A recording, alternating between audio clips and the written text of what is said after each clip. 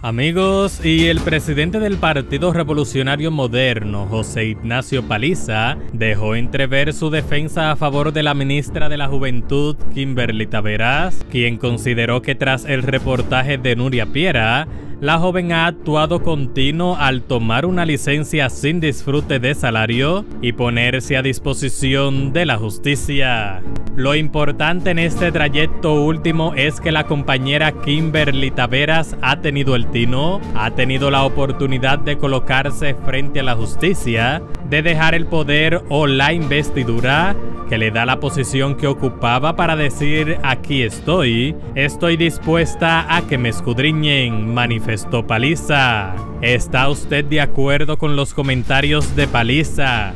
Al defender a la ministra Kimberly Taveras. Cualquiera que sea su opinión, déjamelas en la caja de los comentarios. De su lado, la magistrada Procuradora General de la República, Miriam Germán, expresó que los montos de declaración como la de la ministra de la Juventud, Kimberly Taveras, han llamado la atención por los montos declarados, por lo que están bajo investigación. Compañera Kimberly eh, Taveras, en su posición externada en el día de ayer ante la prensa, eh, creo que de alguna manera dio, dio al país una señal nunca antes vista, que es importante valorar.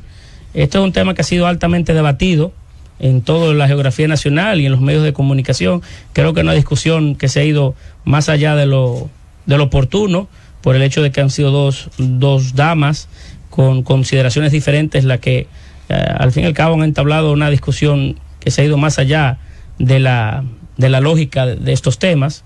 Eh, y Kimberly le ha dado una señal, creo que importante y contundente, que no la había visto antes, la de colocarse al margen de su propia investidura, si se quiere, eh, para, para decir aquí estoy, investiguenme, eh, eh escudriñenme, interróguenme, lo que ustedes entiendan que sea oportuno.